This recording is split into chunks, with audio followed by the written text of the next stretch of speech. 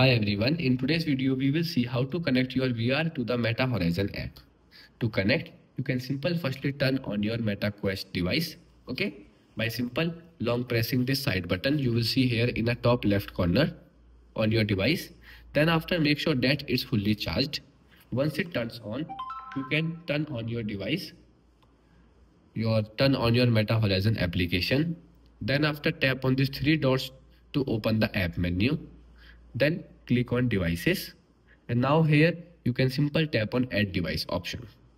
Okay? Once you tap on add device here you will see you can select your device name. Okay? So mine one is a meta quest 3s tap on it. Now it will looking for your headset. And once they will find here you will see it will ask you to enter the five digit code. So you can wear your headset. And now here you will see on your screen a five digit code. Okay once you enter the code, then you will find that your Meta Quest is successfully connected.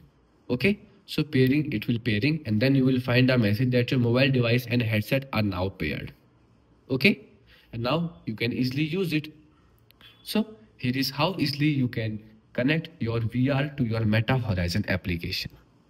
Now here it will ask you to use the three month trial or add a payment and extras. So if you want, you can add or simple tap on not now and then click on close.